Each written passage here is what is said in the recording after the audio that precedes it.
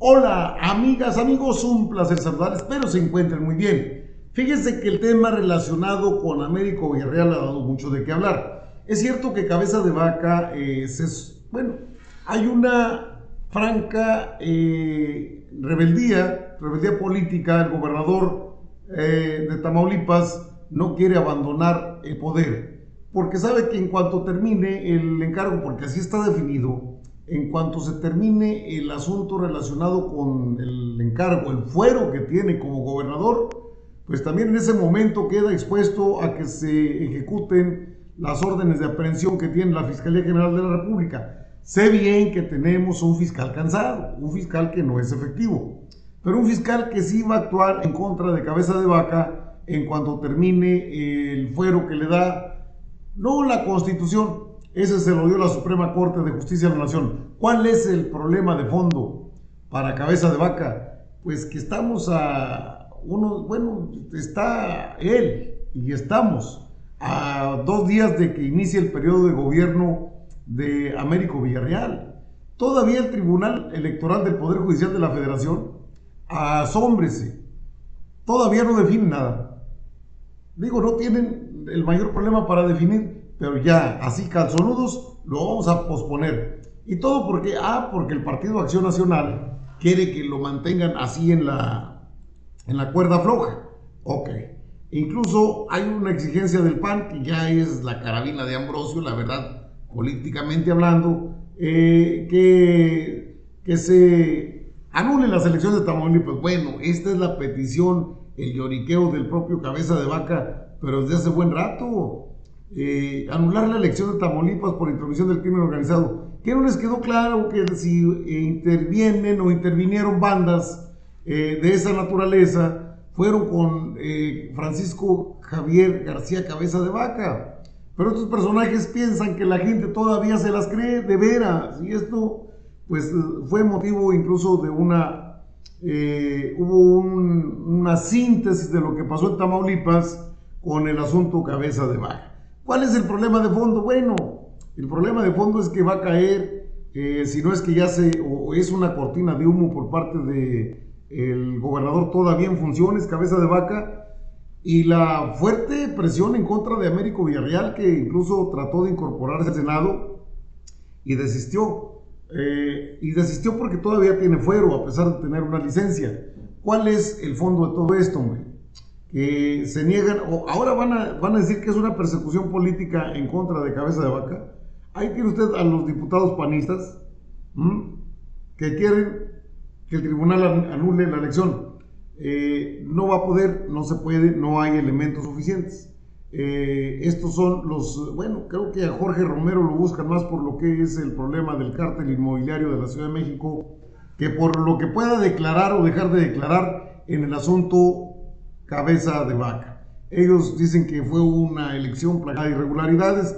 Sí, pues hubo compra de votos, reventaron casillas, lo que ha denunciado en su momento el propio gobernador electo eh, Américo Villarreal. Los nombres de los integrantes del gabinete ya fueron soltados en su momento por el propio Américo Villarreal. Aquí se los presento. Estos son los que van a acompañar al gobernador de Tamaulipas, que ahorita pasa momentos críticos por la presión tan fuerte que ha traído en estos días relacionada con el encargo del pueblo de Tamaulipas, pero no creo que lo puedan doblar. ¿Qué dijo don Américo Villarreal respecto a sus colaboradores? Ahorita le digo cómo respondió el presidente de la República a través de la mañanera respecto a este tema.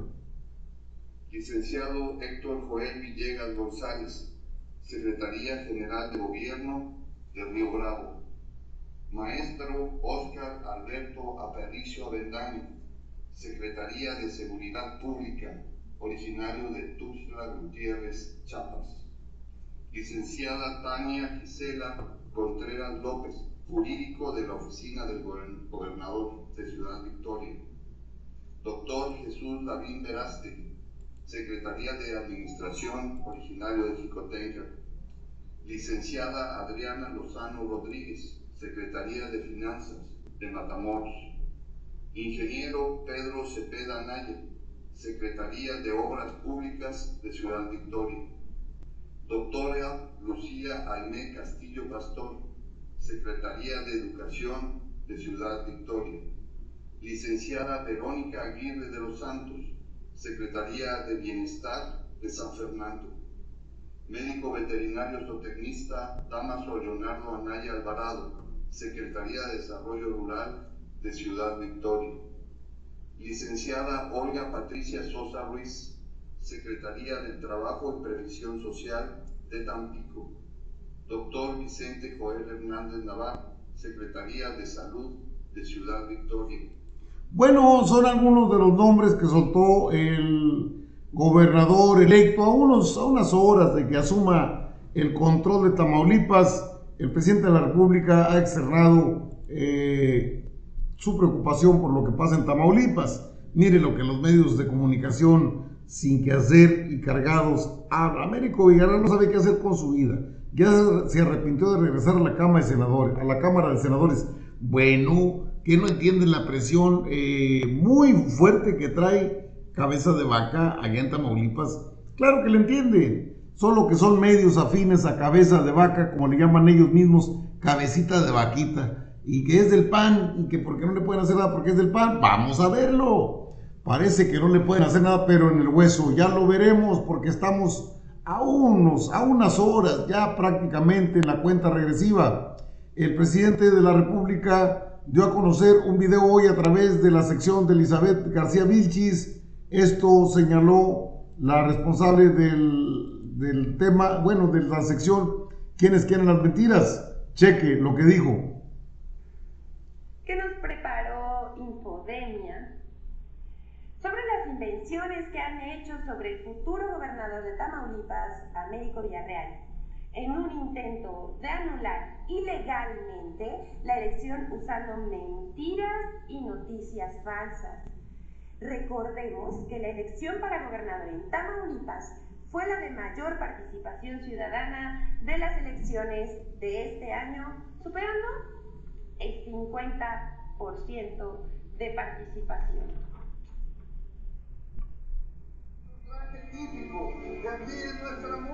El proceso electoral en Tamaulipas constituyó un auténtico menú de estrategias para mentir, desinformar y acusar sin pruebas al candidato a gobernador Américo Villarreal, quien ganó la contienda.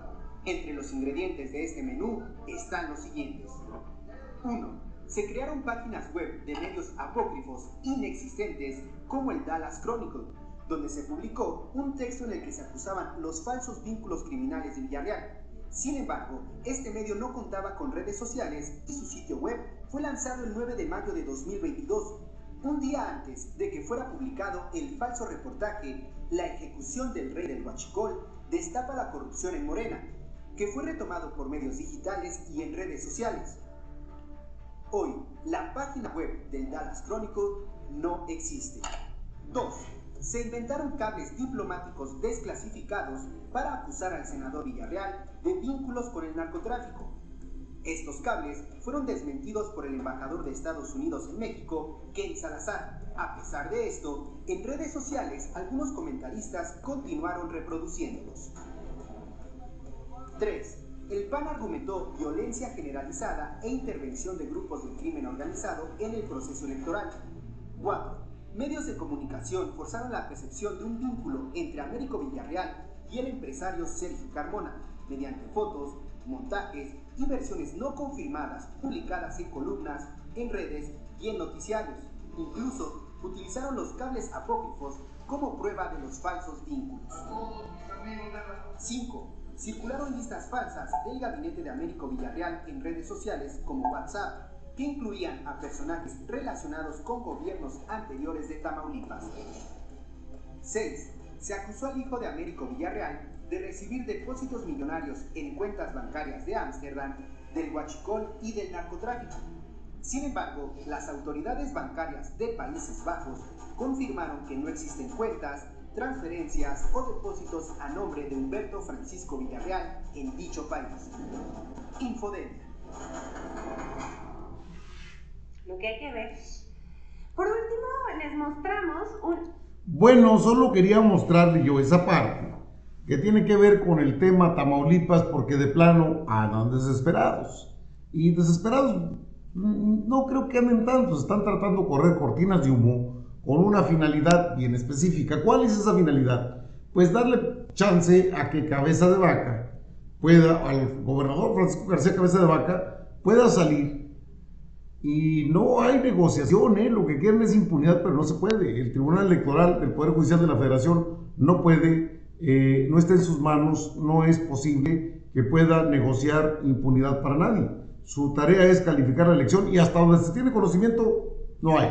Es decir, no hay nada por lo que esté, bueno, ningún argumento válido para retrasar lo que es la decisión de los tamaulipecos.